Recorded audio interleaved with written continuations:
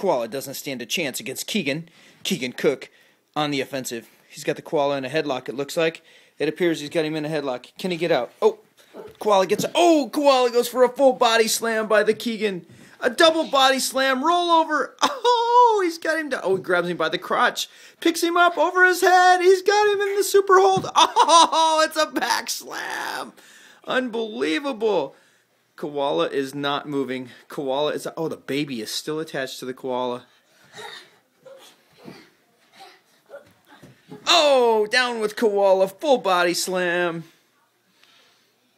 I think he's done. Oh, it's a kick to the head. Oh, full 360. Unbelievable. Oh, he crushes him against the wall.